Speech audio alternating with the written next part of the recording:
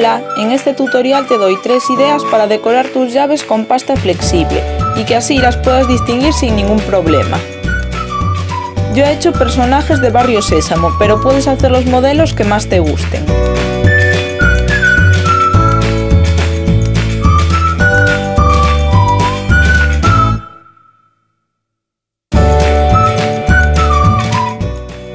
Necesitarás los siguientes materiales pasta flexible en color blanco, rojo, azul, naranja, negro, marrón y también amarillo. Las llaves que quieras decorar, bastones de bisutería con argolla, pincel, cúter y herramientas de modelar, pintura acrílica negra y yo también usé lana de fieltro pero puedes usar pasta flexible negra si no la encuentras.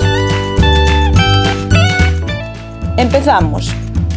El primer modelo que voy a hacer es el monstruo de las galletas, que aquí en España se conoce como triqui. Empezamos haciendo dos bolas de pasta flexible azul y las aplastamos un poco con la palma de la mano. Colocamos la llave en medio como se ve en el vídeo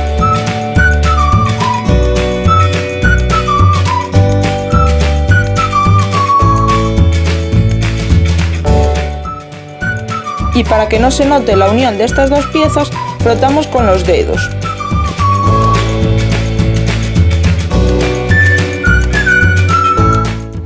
Aunque no quede perfecto no pasa nada, porque esto se disimulará con el siguiente paso, que es imitar el pelo. Lo haremos con un cúter, un palillo o cualquier herramienta con punta. Haz pequeñas marquitas como se ve en la imagen, tanto por delante como por detrás y por los cantos.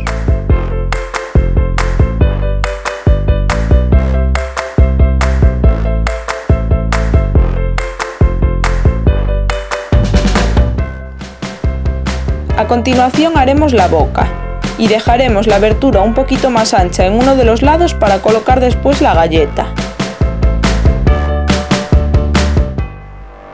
Con dos bolitas blancas haremos los ojos. Presiona ligeramente y colócalas encima de la boca. Con dos bolitas negras mucho más pequeñas haremos las pupilas y como ves yo pongo una para arriba y otra para abajo para darle un toque más divertido. Para la galleta haz una bolita marrón claro y aplástala con el dedo. Para darle la textura puedes usar papel de aluminio arrugado o simplemente hacerlo con herramientas de modelar.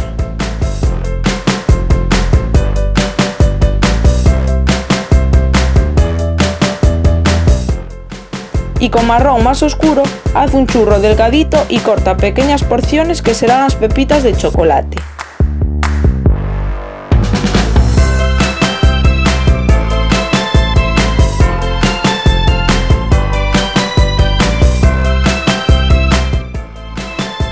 Coloca el bastón en la parte superior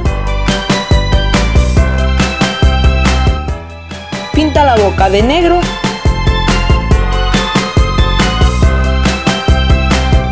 deja secar y listo.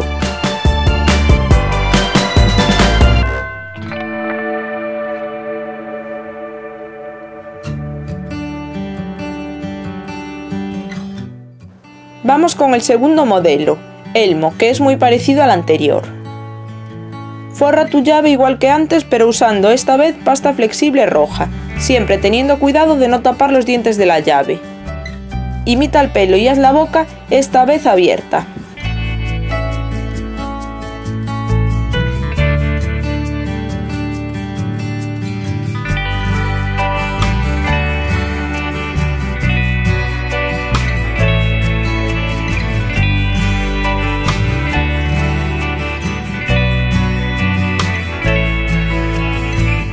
Haz los ojos como antes, aunque esta vez los pondremos mirando al frente.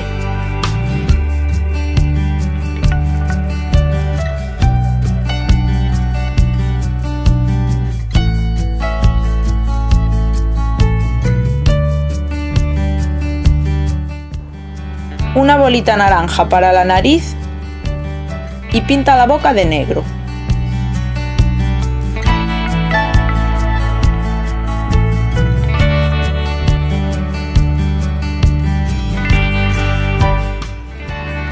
Coloca el bastón y ya estará terminado.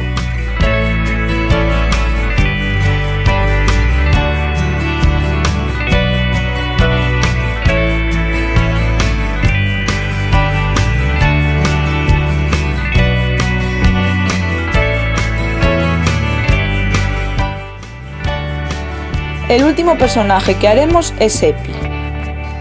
Para este modelo uso una llave más rectangular, no tan redonda como las anteriores porque se adapta mejor a la forma de la cabeza. Haz una bola de color naranja y dale forma de huevo. Aplasta ligeramente con la palma de tu mano. Coloca tu llave encima y fórrala como se ve en el vídeo. Frota con tus dedos para que quede un aspecto uniforme por toda la pieza.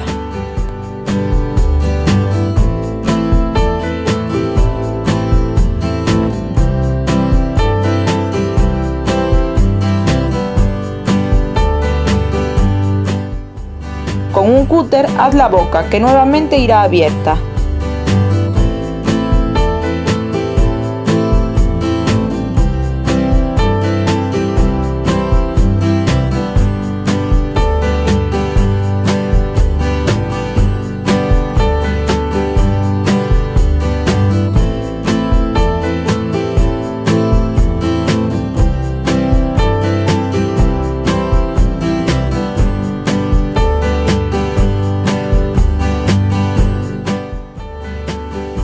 Los ojos igual que para los otros personajes y coloca una bolita roja a modo de nariz.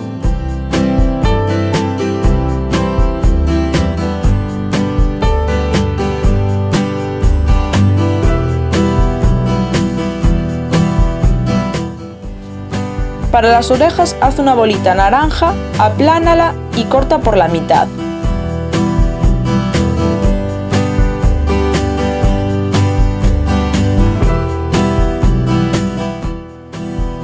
Termina de dar forma y únelas a la cabeza.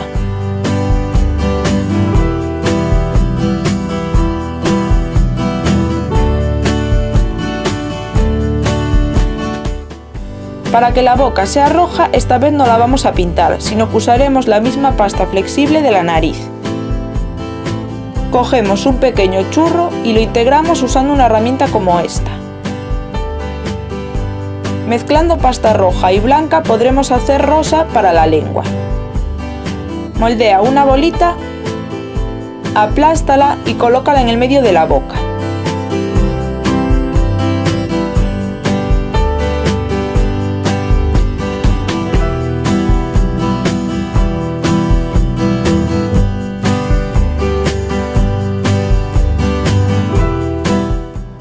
Para el pelo voy a usar lana de fieltro. Hago un corte en la parte superior de la cabeza y voy introduciendo el pelo con ayuda de un cúter.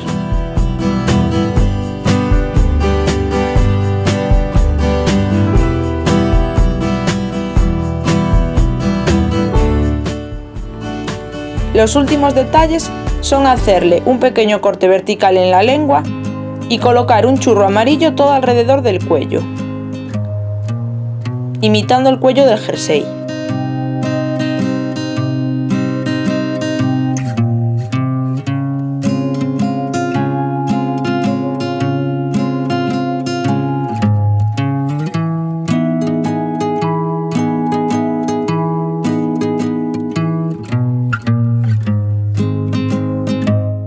Colocamos el bastón esta vez en una esquina para que no se pierda entre el pelo.